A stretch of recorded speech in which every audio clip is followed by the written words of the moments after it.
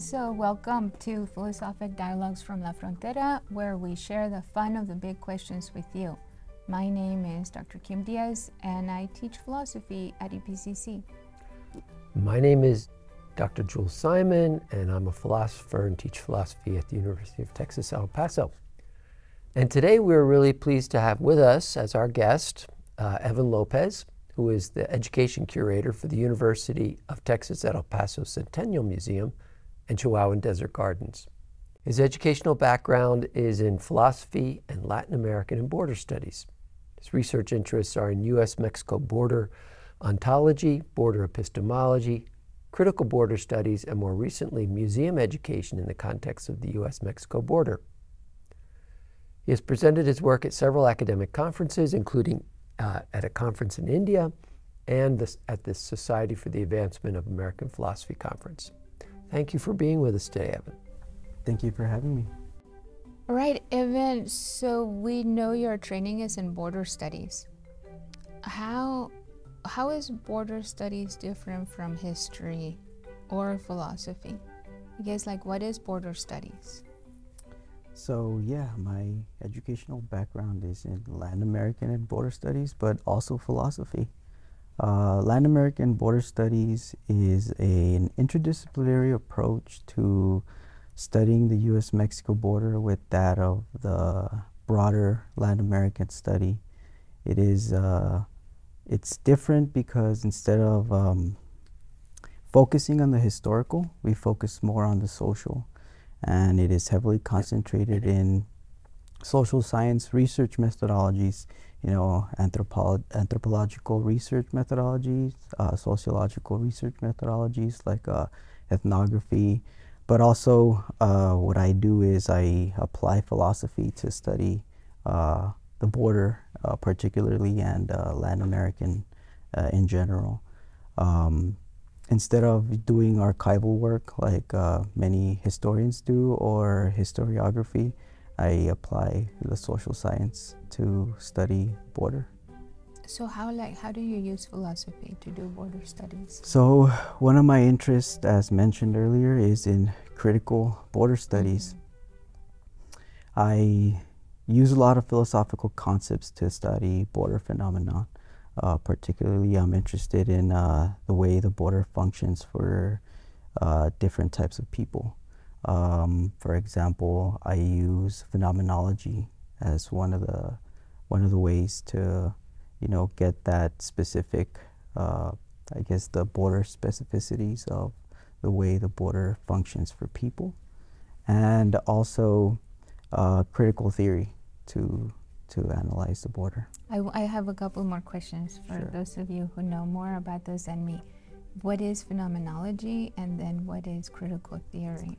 So I like uh, Merleau-Ponty's uh, uh, definition of phenomenology. For him, phenomenology is the study of experiences uh, without being verified by scientific or, or rational academic uh, uh, justifications. So, critical theory is a way to study society with a postmodern approach to to the social sciences instead of taking but at the same time critiquing these uh, mo these models of, of analysis um, it it incorporates, you know, the study of, of race, the study of, of systems of oppression, and so on. And then, uh, do you want to ask the next question? Because I, then I would ask also, what is postmodern?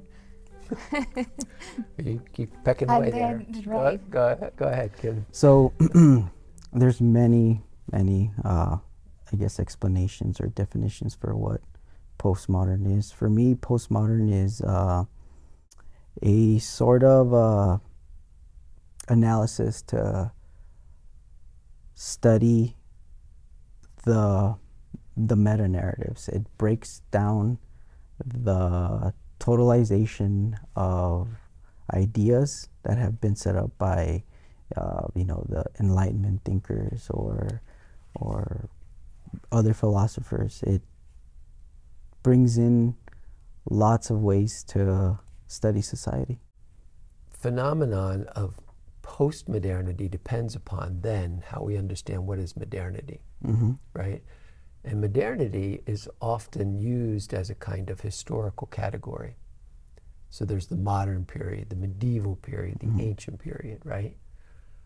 And I, I I know the, the term postmodern came about because of this philosopher named Lyotard, French, French philosopher.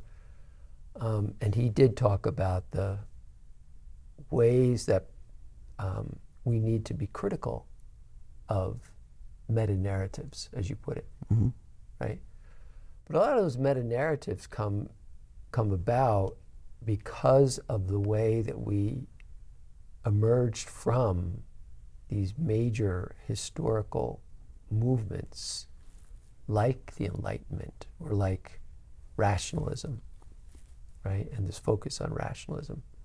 So the next question has to do with why is it important?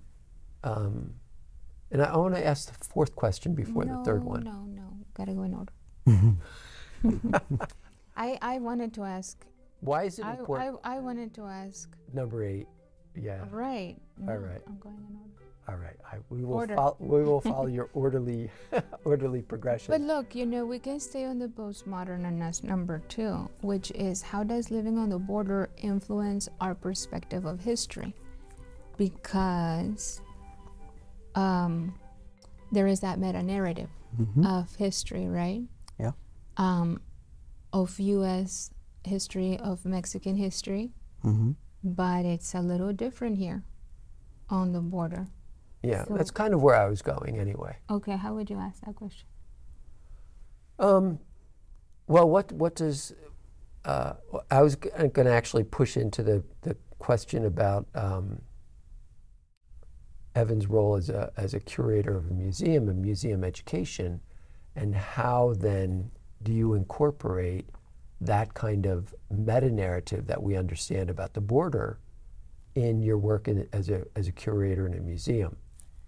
So there's Mhm. lots of ways to think about that relationship of postmodern to modern Mm-hmm.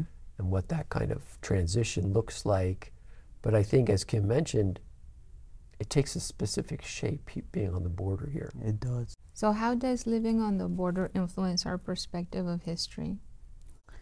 So I could only speak for myself, but it influences my perspective of history uh, because after, you know, researching, reading, uh, studying history, studying philosophy, studying border studies, I am aware of the dominant and the hegemonic narrative that is used to talk about the border, to to produce knowledge about the border. So I am very careful and very critical of these dominant uh, narratives and their interpretations. So I think it's important to also highlight the fact that a lot of border histories have been omitted or neglected. So an example, uh, going back to the, the museum, my museum position as an educational curator, we have a very uh, how would I say it, authentic approach to tell these stories. We currently have an exhibit. Uh, it's uh, Pasos Ajenos, Social Justice uh, and Inequalities in the Borderlands. And it's a counter narrative to the dominant uh, historical narratives of the Borderlands. And to go back to the way history is presented, there is an installation in that exhibit that talks about Carmelita Torres. She was a 17 year old uh, girl who, in the er, 1900s, early 1900s, mid, uh, you know, the, to the teens, she would cross every day to El Paso. She was from Juarez. She would cross every day to work as a maid um, here in El Paso. During that time, uh, there was a scare of typhoid. So all the people crossing from Juarez would have to go through these inhumane and degrading processes of sanitation. Uh, one day she decided that she was not going to go through that, uh, you know, inhumane and uh, degrading process. They would get like pesticides. Yeah, they would be sprayed right? with chemicals and uh, pesticides. Uh, and they would also be, uh, these women were also subjected to being photographed. And a lot of these photographs were then displayed in bars here in El Paso without their consent or knowing that they mm-hmm. were being, you know, uh, photographed. So she decided that she wasn't going to go through this process and she resisted and protested, convincing other women to do the same.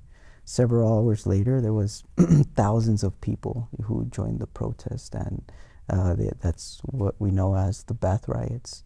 And it takes a very specialized uh, college uh, historical course like uh, a class in Mexican American history or in Chicano studies to learn about this, where we don't learn about this in the K through 12 mm-hmm. Uh, educational system. So it's important to highlight these stories and to know uh, about our history in order to to you know navigate these systems of, of oppression. That was a really great answer, and let me say why, Evan.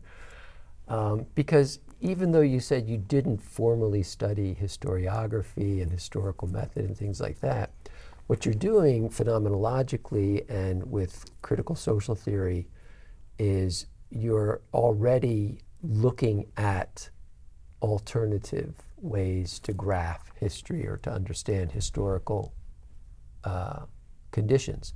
Because in phenomenology, um, one of the primary fo- foci is to come up with the best possible description of one's experiences, mm-hmm. right? So that's one, one, one way to think about that. And if we don't include stories like um, Carmelitas, mm-hmm. right? um, we're not coming up with the most adequate or most complete story, mm-hmm. right? Because they get left out. And the reason for that has to do with questions later on well, about politics and ethics. Yeah. I'll ask the next question. So then, this is how, right? The previous question is how, how living on the border influences how we look at history. We're we're aware of these omissions that don't are not taught in regular classes. And so the next question is bringing maybe more balance between the two. Is it important or why is it important to study history in general and then the border history in particular? So it's important to study history in general because it's good to know the way ideas have formed through mm-hmm. time and the way ideas have changed through time, but also the way changes occurred through time. It's important to learn how we as a society developed and particularly how our knowledge, you know, developed. So for me, it's particularly important to study border history. Uh, First, because of my academic interest, but also because I am from here. And in order for me to, I guess, more fully understand my geographic region where I'm a native to, I think that studying border uh, history is important. Not only that, I think it's also important because as an education curator for El Paso's first museum, where we celebrate the stories of the border and the Chihuahuan Desert, it's important for me to accurately interpret those stories in our exhibitions. I want to follow up on this accurate interpretation. Um, I've, you know, I've only I only took my general electives that I had to take for history, so I'm not well versed in history. But I remember so, and I grew up here on the border too, but I remember having a, an insight where um, here in El Paso we have Porfirio Diaz Avenue, I think it's called, right? Mm-hmm. And so typically we tend to name streets after people we respect and mm-hmm. right Porfirio mm-hmm. Diaz Avenue. But then um, I was an undergrad and I was starting studying a little bit about uh, Mexican history or you know reading on El Porfiriato. And Porfirio Diaz on the Mexican side, I mean, you know, he he was a mixed bag. Yeah. mixed reviews there because he Yeah. was a dictator hmm and we had to he ended up you know getting exiled you know like mexicans at the end of i don't know how many years of a dictatorship um, finally got rid of him. But um, interesting how if i had not done my own research on this i would have thought that porfirio diaz was this great guy hmm right? This great mexican president or whatever. Hmm and so it's just interesting how from on one side of the border you get this streets named after this the same person and on the other side Yeah. uh, no this guy got exiled because he um, didn't do right by his by his country hmm you know and that just you know i think recently uh, about a couple years ago uh, we had a name here uh, robert e lee mm-hmm. And Yeah. we know the history behind that. And luckily the city took action and changed the name. I don't know what it's called now but the street was named after a confederate uh, general. Right. Yeah. yeah. And that comes this this so you have like um, professionally and academically you have three different hats you wear. There's this phenomenologist hat right? Where you're coming up with the best possible description of both subjective and objective Mhm. ways to think about personal your, your experience right but uh, in order to do that you have to be aware of what these narratives are the meta narratives um, and it's not just enough to repeat the narratives, um, as you've already demonstrated to us. The ways that you practice critical theory then enter into your considerations because you already with Carmelita's story, you, you shared with us this kind of ethical twist that you get from critical social theory, right? So it's not just knowing the narratives, it's knowing what are the ethical problems that you need that we need to be critical of.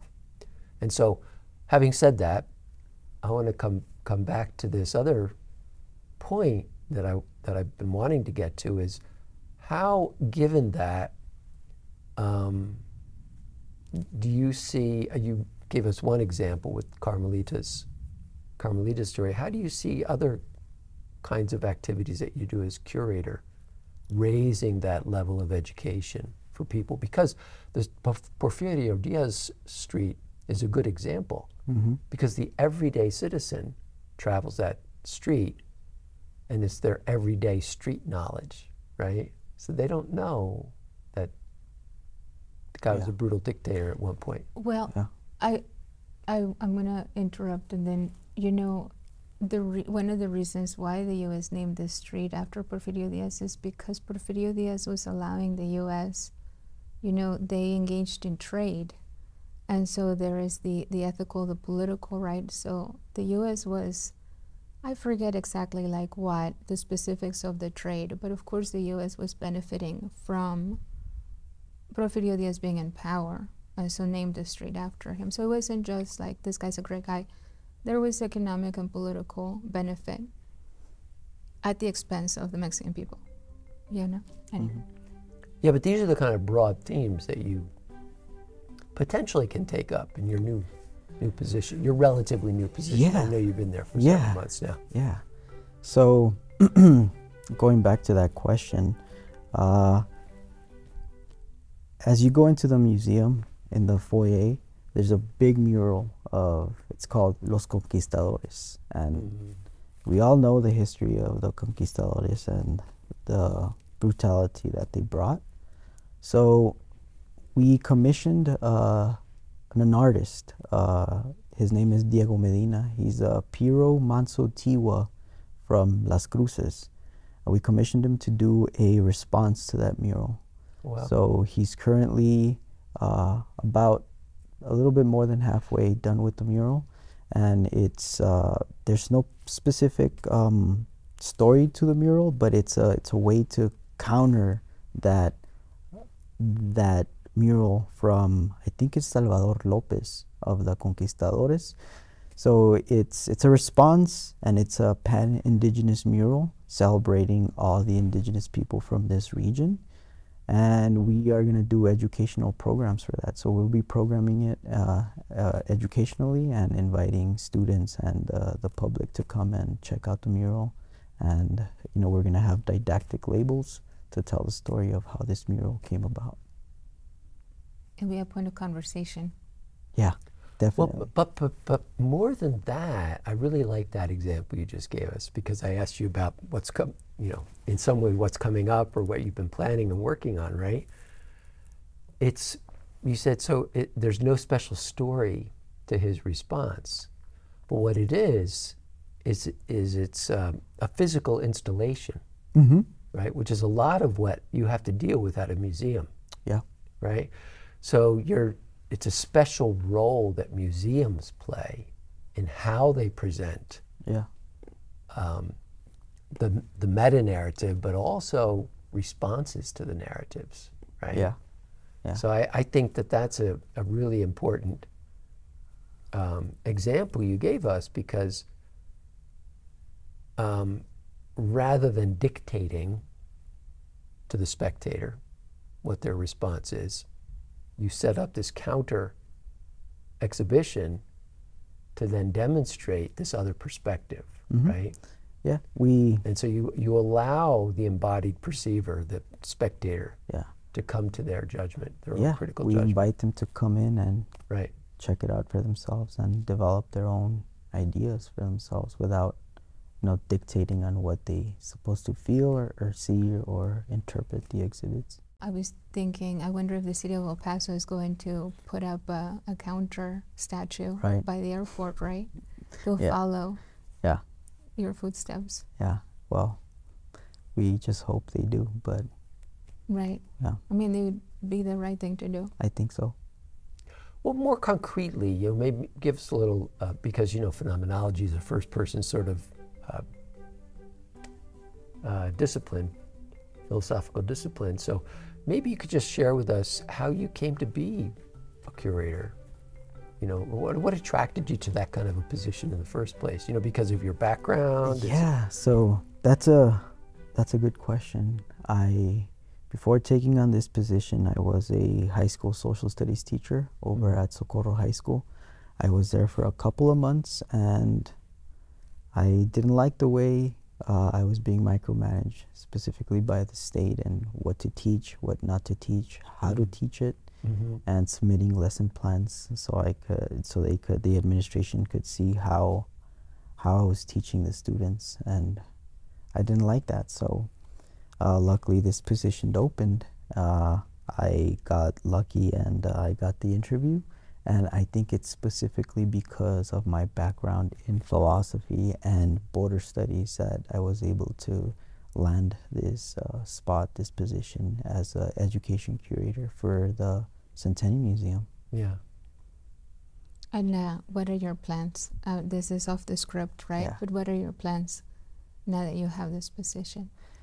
So my plans is to, you know, pursue a doctoral degree. Um, uh, I'm thinking of doing it in education and um, doing something with museums, uh, philosophy and border studies, connecting all Mm-hmm. all three areas and how to make mu- museums more relevant to our specific the specific demographic here in El Paso.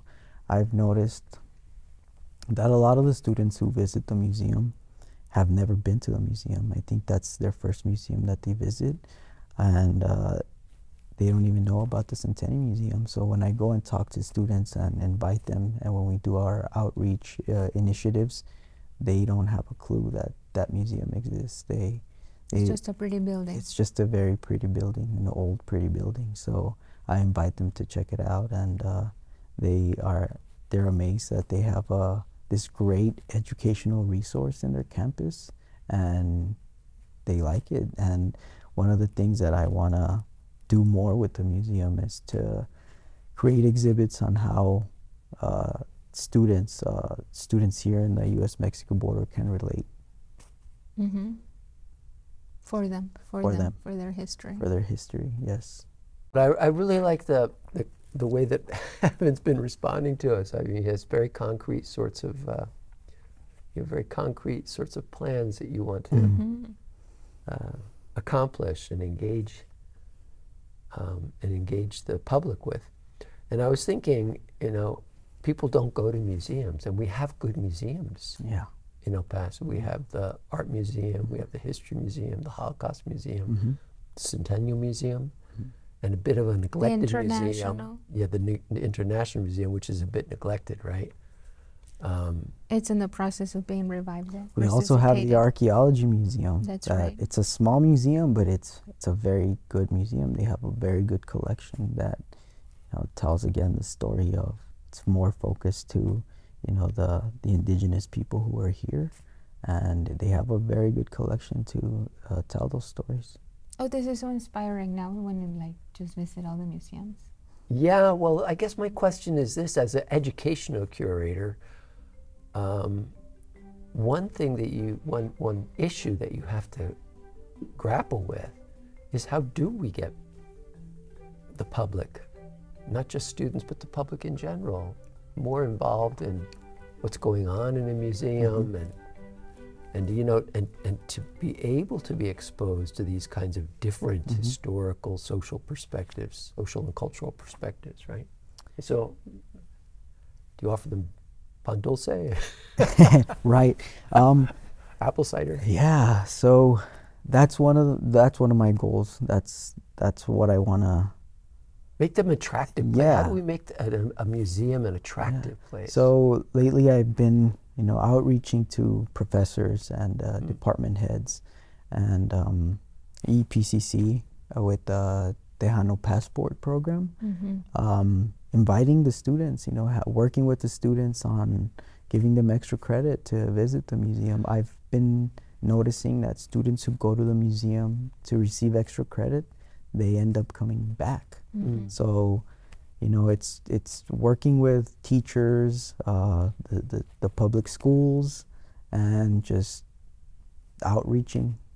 So, but I've I've I've noticed that what works is you know reaching out to these professors and you know also educating them of the exhibits that we have on display and uh, how they could relate to their curriculum and sending the students over.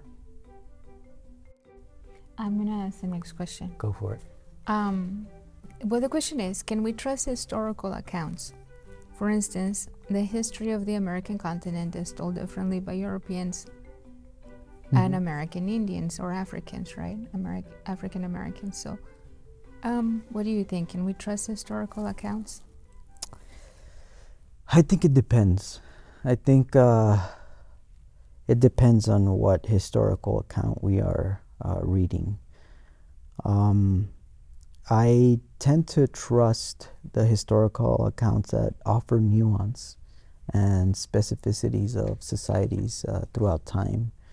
I tend to really trust oral histories because it allows for subjectivity and voice to come into play. It allows for the people themselves to be historical uh, agents and and you know to be historical agents in their their history and also in their their epistemic making. Mm-hmm. So those are the accounts that I tend to gravitate to when researching, um, you know, specific events, uh, uh, public history, and things like that. Okay. okay i'm going to take on the role of kim now All right. I'm going to channel a little bit of Kim. So, what? How do you understand? Uh, well, epistemic production for one, because epistemic's a funny word. Yeah. What is? What does it mean? Yeah. what does it mean? But the other one, the other one, which because that question bleeds into the next question, right? About objectivity and subjectivity. You know, and distinguishing those those poles of epistemic. Yeah. Yeah. So, what is right. epistemology? Well, and the relationship of your of one's subjectivity to that kind of trust in objective accounts, as What does? What is epistemology? Evan's going to answer. So the straightforward and simple question is the the analysis of knowledge. Mm. Where do we attain that knowledge? How do we use that knowledge? Nice. And so on. Mhm. And we could take it in many other ways. And so, when you mean epistemic production, what do you mean by that? So I mean that they are agents in their knowledge production. They themselves create the knowledge that is going to be used to, you know, analyze the historical narratives. And why is this so special? Doesn't everybody do that? Well, Ah. not really. yeah, that's a good Um, question. It is a great question, I and thought so too. Right. and no, but I mean, it's obvious to us here on the border, but it may not be obvious to. Um, yeah, why is this? Is this? I don't want to answer for you, but why is epistemic production here on the border being made aware that you are producing your own epistemology? it's important for the people who are often subjects of study to produce their own knowledge. And it goes back to this uh, question of uh, authenticity and being accurate. In order for us to fully understand how these people live, I think it's important for us to allow them to come in and theorize and not just be the subjects of theory itself, Of but the research. yes, of research, but allowing them to come in and also produce these uh, theoretical approaches to to studying uh, any social science. So if we were, um, yeah, I mean, I don't know if I want to get more concrete than that. Well, the, the bit about agency is important because this is now how philosophy enters back in, um, and my and some of my concerns with uh, phenomenological ethics. So the ethical dimension of the production of knowledge. The bit about agency is important. So e- someone can be an object of study, Mhm. right? But in such a way that they don't have any input into how that study is being used or if it's monetized or if it's if they're being exploited in particular Yeah. right? And that's the question of agency. So i have some agency or i, I should be educated i- to know that i have agency hmm in in how that's happening. This rem- this reminds me of um, the interview we did with um, Alex Stehn and Mariana Alessandri. They were teaching. They were talking about teaching Gloria Anzaldúa to their students on, you know, in the Rio Grande Valley, and how their students reacted to reading. The maybe the first time that they had ever read a book written by a Mexican American Yeah. it was always um, being Mexican, being Mexican American. We read the books authored by Smith and by Williams and by Johnson, right? Whatever, as opposed to Anzaldúa. hmm And so it is. Uh, this rem- this conversation reminds me of the the people themselves uh, realizing that y- one of us wrote a book yeah this, a- another woman like me from my from where Right. I was born here uh, wrote a book, and now I'm reading her book. hmm You know, the knowledge production can come from from here. Yeah, Yeah, and it also influ- influences the students. It uh, it allows them, you know, this this representation allows them to, you know, she did it. Hey, I could do this too, hmm and I'm going to do it. Yeah, and that's the that's the other. So you've mentioned a couple of phrases and terms that are really significant, like um, well, we asked you about can you ever be objective, right? But the flip side of that is the importance of this kind of subjective agency, right? That I do have some ability or maybe desire to tell my own story hmm right?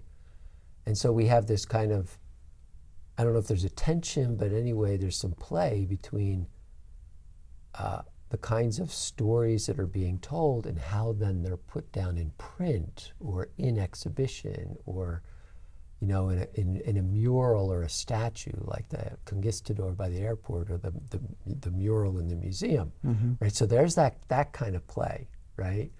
So as an educator, then, that's something I think that that you probably have uh, that you're keenly attentive to, right? Yes. Again, for me, the going back to objective and subjective, uh, radical objectivity and radical subjectivity can be dangerous. They Mm. could both fall into these very dangerous uh, traps. So we have to always find this middle point where we as scholars can remain objective, but also allow for this uh, subjectivity to come in and in, inform our research. And that's something that I also um, am doing with research. I'm um, trying to see how we can bring in lived experience as a methodology to inform our research. Mm-hmm. Awesome. That is Uh, awesome. For minorities and women, how is learning about their history significant beyond studying the traditional Western narrative? So, speaking about, well, I'll just leave it at that. So, for minorities and women, how is learning about their history significant beyond studying the traditional Western narrative? So it's extremely uh, important for minoritized people and women to to study uh, alternatives to the Western narrative, to comprehend how their oppression has been changed through time, and also I mentioned this earlier to for them to understand how to navigate these systems of oppression, and again with with knowledge um, the first step to to liberation is to know and to to you know also be knowledgeable of how they've been subjected to atrocities due to the legacies of oppression and colonialism. And how, how the, the you said uh, how to navigate the, through the systems.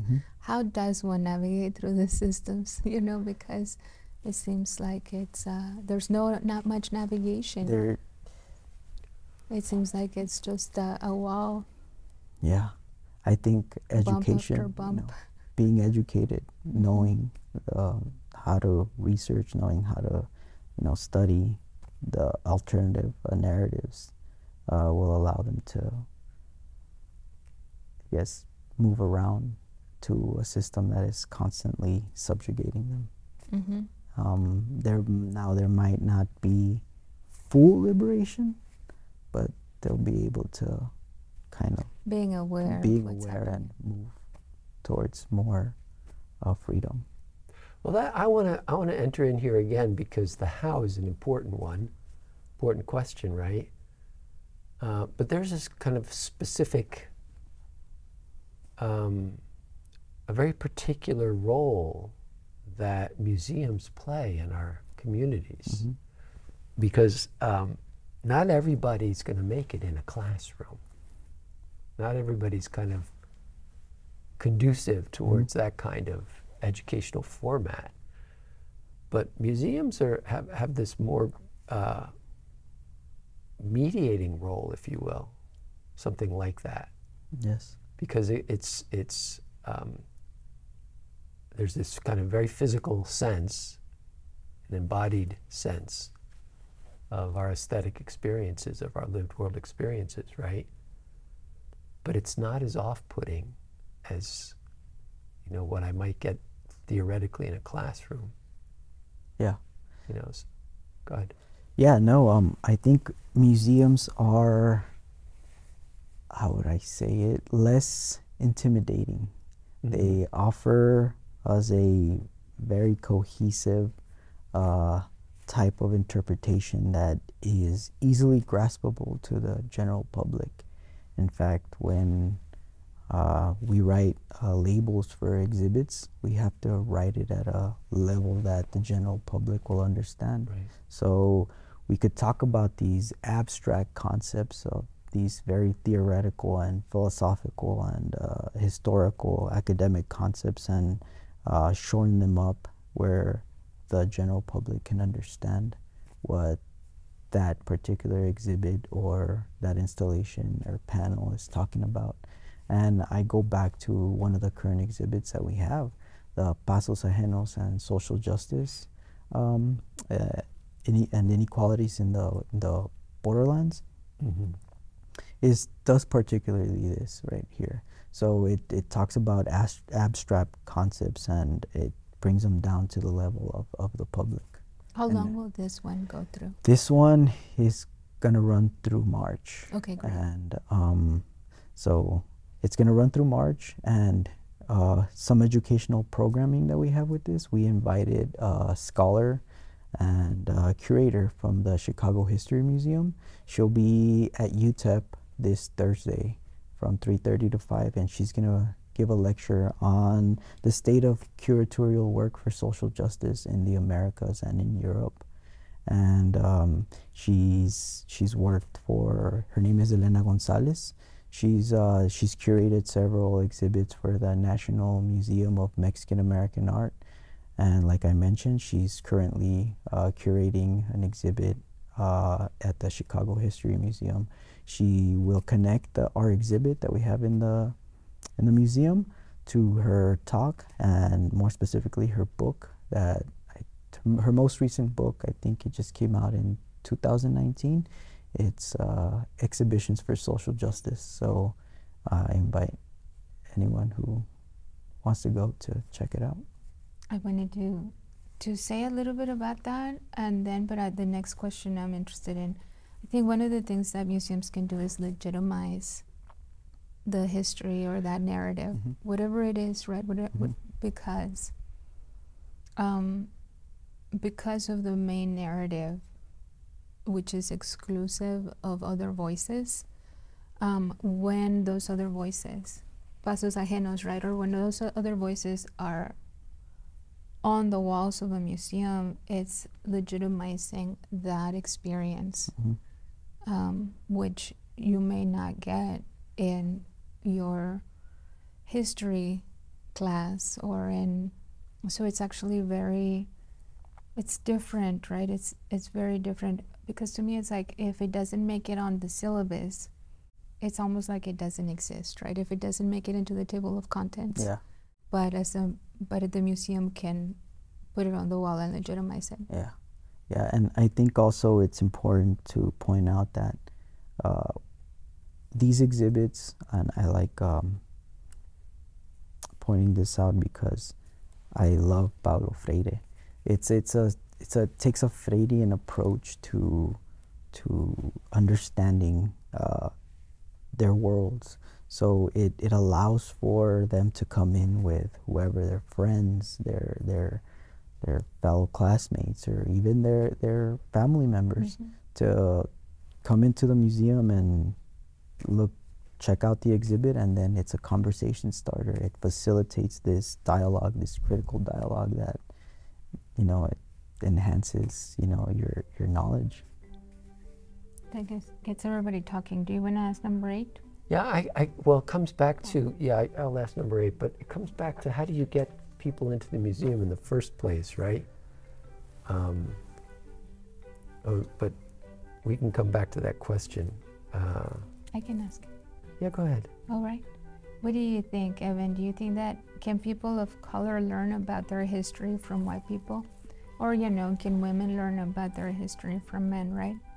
What does history or philosophy tell us about this? Because it's kind of similar to philosophy. It's a, i think we all can learn about history from anyone if that person uh, telling the history is willing to be brutally honest and history has shown us to particularly me to be very skeptical to be very careful and to be very critical of these hegemonic narratives that are often you know passing as factual and dictate how my life is so i going back to that i think that yes we can learn history from anyone as long as they are brutally honest yeah. That's Oh. an interesting thing because one of the reasons why Plato wanted to outlaw the poets and the arts from the city, from the republic, was because he felt that, that the poets and the artists couldn't be brutally honest. Mm-hmm. You know, so therefore you couldn't have a just city. Mm-hmm. You know, because they would make things up about the gods Yeah. or about the events. They'd twist the Yeah. how the events went and things like that. So I think your example of this kind of counter um, mural to the colonial mu- mural is a really good example of how one can, one can promote an honest response, Mm-hmm. right, as opposed to one that's Brutal, brutal honesty then is Yes. the, the requirement. That's what it is. Yeah. right it there. doesn't mean that just because I'm brown, I can teach brown people about Yeah. brown history. Yeah. mm, Because I may not be honest, for all we know, Yeah. right? Yeah. yeah. There's kind of a, an ethical ethical imperative there that um, that has to contend with uh, competing competing interests, Oh yeah. Right? Yep. And it goes back to you know whether it's ideological or political or you know economical. Uh, whether, for example, if we they ask us to do an exhibit on some sort of scientific discovery, and they're willing to give us a lot of money for it, and we have to cover up a lot of unethical uh, Data gathering. data gathering or the processes that these scientists did, you know, it goes back to this ethical question: uh, Should we do it, or Should we should- legitimize it? should we right? ge- legitimize it? Yeah, that's it right there. Yeah, because what you're doing with a museum is you're putting things up on a wall or in a space, and if it's objective, if it's there, then somehow this is how it is. Mm-hmm. This is the reality, Yeah. right? Yeah. Without really understanding the forces or the dynamics that Brought it about. brought it Yeah. about, right? Yeah.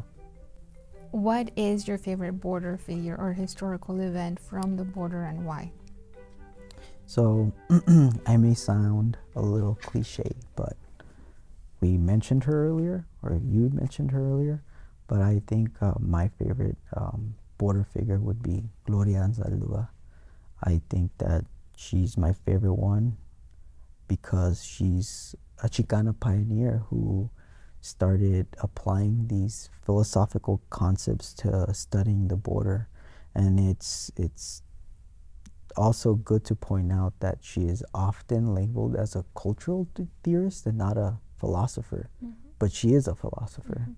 And she's perhaps one of the first ones who started applying these uh, philosophical concepts and being critical of, of border studies. And perhaps she launched this new approach on critical border studies that now a lot of scholars are moving towards um, analyzing the border through this uh, approach. I have a, a follow up question. You said that she's often labeled as a cultural theorist and not a philosopher. Who labels her and why? So again, we go back to the meta narrative. It's that meta narrative that is informing on who gets to pass as a philosopher and not a philosopher. Particularly because she was a brown lesbian woman, she cannot be a philosopher. hmm And why? Well, because the meta narrative is still very racist and very structured to favor men, white men. The the main his the, the men, yeah who- right yeah. the traditional the Mm-hmm. narrative okay Yeah. Let's t- let's um, stay with this and talk about the importance of the place of the museum. Mm-hmm. You know that this museum occupies a place in our land here, right? And specifically, um, it's in the center of an educational institution, for one. Mm-hmm. Uh, but secondly, um, it's in a city that is predominantly brown, Mm-hmm. predominantly Hispanic, Latino, Latinx, Chicanx, right? And so, do you find your responsibility? Um, how do you see your responsibility as an educational curator in a museum like that, in a place like this, vis a vis this dominant, hegemonic, Mhm. if we may say, um, Asphyxiating. well, it is. It's, it kind of chokes off the potential for like normal rhythmic breathing, you know, breathing in how we should be as opposed to, you know, the kind of polluted air that, that gets sent our way. But, you know, I think it's important to talk about the place of the museum and our awareness of its place. We mentioned the, you know, the Rio Grande Valley, but El Paso is an important place. And to have a museum like that and a job like yours, you know, comes with a lot of responsibility. comes with tons of responsibility. I find it extremely important that as an educational curator, Mhm. I, and not only as an educational curator, but as a cultural specialist, specifically for this region, Mhm. I want to enhance the voices of the way the museum, you know, curates the stories. Mhm. Uh, so the museum is uh, was built in 1936. It was in commemoration of the centennial um, of the Texas independence. Mm. So we have moved from celebrating Texas to now celebrating the voices of the border and the Chihuahuan Desert. So I want to now, especially at a at an educational institution, the biggest educational institution in this region, uh, that primarily serves um, 85 uh, percent Hispanic demographic or Mexican American, to portray the stories uh, again going back to accuracy as accurately as I can of the people here and the exhibitions that we try to do.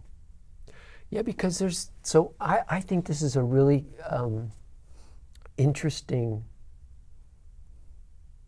a really interesting point that you bring up that the museum was founded by, based on the centennial of the celebration of the independence of Texas, where you know from what we've been talking about all afternoon now is is um, how do we, how do you, how do museums cultivate a kind of critical, independent perspective on spectators and people who come to the museum, right? Vis a vis these meta narratives. Mm-hmm. So it's an interesting sort of phenomenon that's going on about one independence, you know, countering another Yeah. independence, right? Yeah. You know, so that there's, I mean, it just, you know, for me, it heightens that kind of responsibility factor. It does. Yeah. Yeah, because um, the the independence of Texas Texas came about through a whole lot of oppression. hmm You know, flat out. so this is this these tensions, these political tensions, right? And the special And role that what I was educational institutions how- and museums are about. Yeah. How do you navigate your way through these systems? yeah. Yeah. Um, do you think so, Evan? You've lived on, studied, and now work here on the border, right? And so you've studied our history from multiple perspectives um, with your border studies background. Do you think it's possible for humans in general to live in peace? What's your take on on uh, I I wish I had that the answer for that, and I truly don't know. mhm, But being here at the border and studying the border the way I do, we are 83% Hispanic or identify as Mexican American. And we've been seeing this influx of migrants from Central and South America. And the common rhetoric on the, on the streets uh, coming from us Hispanics is that they really don't want these migrants here. In fact, our local government has been busing these migrants to other major cities instead of providing resources. But I do think that education allows us for uh, us to find ways on how to create peace and live in peace. But it, it I, I would sound naive if I would say that education single-handedly can solve all our problems. But I am hopeful. But we're still at it. Yes. We're going to keep trying. We're going to keep trying. Yeah, so we come back to, um, you know, how do you get, how do you attract people to come to museums? And it's it's an important question because you have the opportunity with the museum to provide these counter narratives mm-hmm. and these responses and raise issues and questions, right? But if in fact, you know, what's going on in the streets is that we're not offering them pan dulce and apple cider. Yeah. you know, we're offering them bus tickets yeah. to Chicago or New, York, York, or you know, or, or Washington D.C. even, right? Um, it almost seems like a betrayal. One of the vital sorts of of responses that our community can make to this issue, this immigration issue. How is it a betrayal? Well, because we, um, rather than welcoming, El Paso is sending off more buses of immigrants than any other community in the whole uh, border oh, region. I, okay. Oh. You know, just like Yeah. Edwin said, you know, people on the street just are not responding in a way that is is addressing the the, the r- very serious problems of challenges of the immigration issues. We're not, uh, maybe we're not stepping up to the plate. It's a missed opportunity. It's an opportunity we as a community are missing. we're not stepping up to the plate and not only that we you know we could be more welcoming you know and find ways to address what's going on Mm-hmm.